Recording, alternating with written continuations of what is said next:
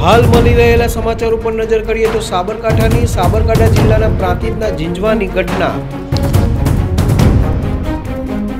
સગા પુત્રએ પોતાની જણેતાને ધાડિયું મારી મોતને ઘાટ ઉતારી.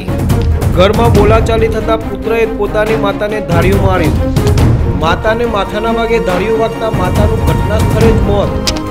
પિતા વચ્ચે પડતા પિતાને પણ માથાના ભાગે ધાડિયું વાગતા ઈજાઓ પહોંચી.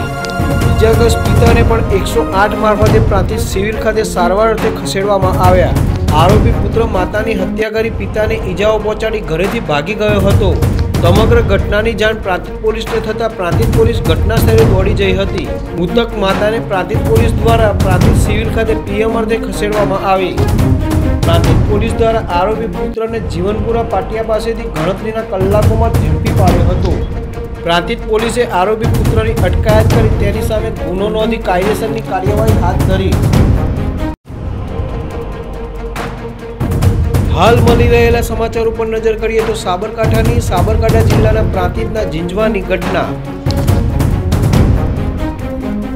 સગા પુત્રએ પોતાની જણેતાને ધાડિયું મારી મોતને ઘાટ ઉતારી. ઘરમાં બોલાચાલી થતાં પુત્રએ પોતાની માતાને ધાડિયું માર્યું માતાને માથાના ભાગે ધાડિયું વાગતા માતાનું ઘટના સ્થળે જ મોત. પિતા વચ્ચે પડતા પિતાને પણ માથાના ભાગે ધાડિયું વાગતા ઈજાઓ પહોંચી. ઈજાગ્રસ્ત પિતાને પણ એકસો આઠ મારફતે પ્રાંતિજ સિવિલ ખાતે સારવાર અર્થે ખસેડવામાં આવ્યા.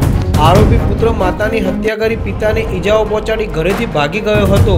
સમગ્ર ઘટનાની જાણ પ્રાંતિજ પોલીસને થતાં પ્રાંતિજ પોલીસ ઘટના સ્થળે દોડી જઈ હતી. મૃતક માતાને પ્રાંતિજ પોલીસ દ્વારા પ્રાંતિજ સિવિલ ખાતે પીએમ અર્થે ખસેડવામાં આવી.